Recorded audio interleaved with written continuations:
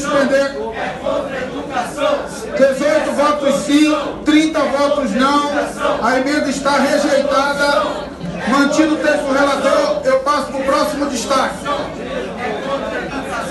Destaque 139.